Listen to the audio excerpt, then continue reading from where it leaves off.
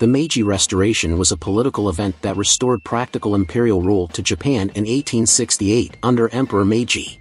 The restoration led to enormous changes in Japan's political and social structure. It spanned both the late Edo period and the beginning of the Meiji era, during which Japan rapidly industrialized and adopted Western ideas and production methods. This period marked the abolishment of the samurai class and the introduction of conscription land reforms were passed and education was made widely available. It accelerated the industrialization process in Japan, which led to Japan's rise as a military power. Japan built industries such as shipyards, iron smelters, and spinning mills, which were then sold to well-connected entrepreneurs. Domestic companies became consumers of Western technology and applied it to produce items that would be sold cheaply in the international market. Like share and subscribe for more history-related videos within a minute. And anyways thanks for watching, see you next time.